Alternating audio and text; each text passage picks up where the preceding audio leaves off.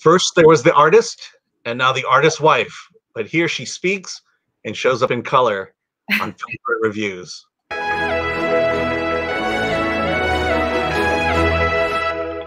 I'm Alan Ng. I'm with Zorianna Kit, and today we're reviewing The Artist's Wife. Uh, Claire is the wife of celebrated artist Richard, who is diagnosed with dementia.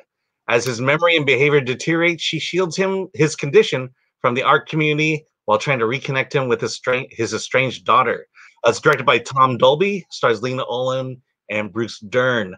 Um, you know, I don't uh, generally read a lot about a movie before watching it, and so um, this one really caught me by surprise because I wasn't expecting where it went. Uh, I was expecting a movie about the artist's wife, which it was, but it was very different. But what did, what did you think of of the film?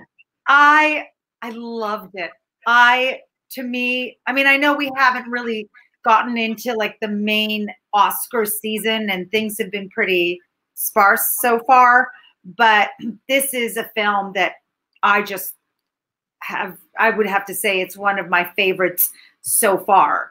Um, I just thought the the story was so just interesting and and real, and Lena Olin and uh, Bruce Dern were incredible. I mean, just these award worthy performances, and together they really captured the complexities of of a, a, marriage that you know has been going on for decades. The highs the lows the fights the makeups the sex the career the uh, resentments. And it's all in there and it's all on the screen. And you really just you really yeah. are falling for this couple like you're really invested in their story and in this storyline I, I thought it was amazing yeah, one thing I I liked about it was the slow burn. Um, you know, Lena Olin is the wife of of uh, or her character Claire is the wife of Richard, and he about probably near the end of the first act, you find out he has dementia, and she takes it upon herself to basically um, not only care for him as he's uh, drifting off, but also trying to uh, tie up the loose ends of his life, which which comes in the form of uh, reconnecting with his daughter. Mm-hmm. And um, you know, it was just like uh, for some reason the the the way it played out just caught me by surprise. I just wasn't expecting not only how it played out, but how much I really enjoyed just her performance and the story behind that performance as well. Yeah, she really is the she's the star here. Uh, first of all, she this is the two stars are older characters, and it's not you don't really see movies anchored around older characters in Hollywood too much. So that is a little bit of an exception. And um, it's it's a great exception, should be done more.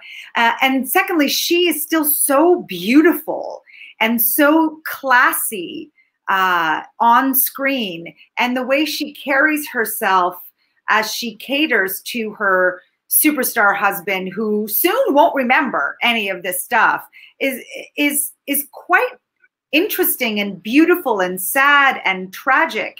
And and the fact that she is going to such lengths to reunite him with his estranged uh, daughter and the grandson he never met is also so admirable because it'll there'll come a time soon that he just won't even remember that he mm-hmm. has them. So it's like you know and another wife might just go well what's the point? He's just not gonna mm-hmm. uh, remember.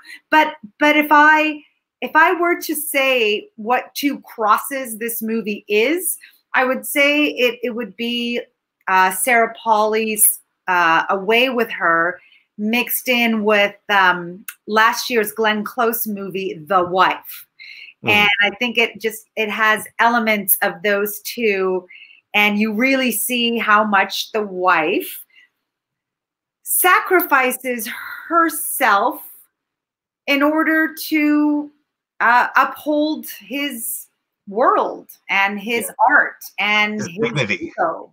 That's the thing you get at the end is just not only that she does it and how admirable she is, but well, I I found two two story paths going on here. One is the wife who takes care of the the husband who's who's ailing, but at the same time, she finds her own uh, spirit, her own inspiration, her own spark, because you find out that she started off as an artist as well, and that um, and that story plays out in a way that's really really interesting and really uh, really caps off the ending. I I struggle because I can't mention any of that. Yeah, um, yeah. This is also one of those checkbox movies where you know we're dealing with a, a a married couple dealing with dementia. One partner has to make plans for the other one who's who's slowly fading away. And you hit certain moments you know like she she is tempted in you know in with another relationship. Um she she has to say you know basically save his reputation. She has to um you know reconnect to the family so that you know keep his family in order when she doesn't have to since it wasn't even her, her daughter. Yeah. Um but what i love is you know unlike most checkbox movies they hide it very well and they ingrain it right into that story and then the art story art aspect of her uh, helps also to cover that up as well. Yes. Yeah very well said very well said.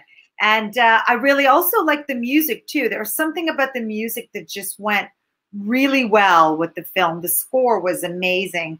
And um and selfishly I admired all the cozy sweaters that she was wearing.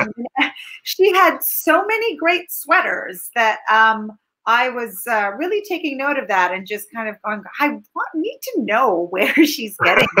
well, because we're getting into colder weather here, and I, you know, I wouldn't mind owning some of those sweaters. This movie is so far under the radar. Um, I'm just afraid it's going to get missed, and and the subject matter is not the most happy but uh, such a good story, such good performances that uh, it's really worth seeking out, especially if you're a fan of either Lena Olin or, or Bruce Dern. Yeah. And, you know, aging is something that, you know, a married couple that's aging together is definitely something, th- these types of things are like dementia or other ailments are things to, that one has to consider as, you know, you're growing old together with somebody.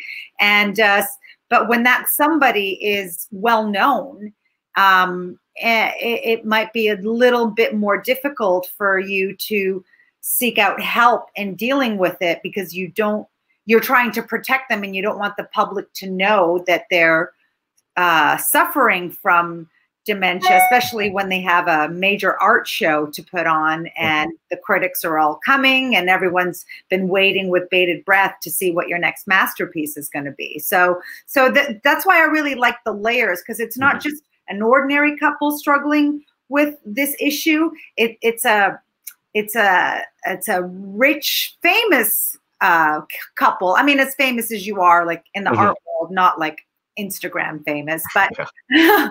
but um, it's just there were just extra added layers, and uh, I, I really appreciated that. Okay, so you really connected with the movie. You love the acting. You love the story.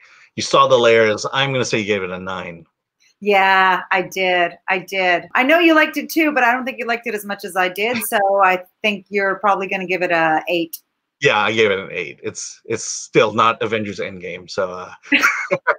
oh my God! If the artist has to be compared to Avengers, know, that's, that's the bar. That's the nine oh bar right now. the nine and a half bar, I should say. Oh my God! oh my God! Poor indie films, man. Crossing your path. They have Peanut Butter Falcon came pretty close. So, uh, um, okay. So, with that, visit uh, filmthreat.com for news and reviews. Like, subscribe, comment below on uh, this film and many of our other reviews. And with that, let's get out of here.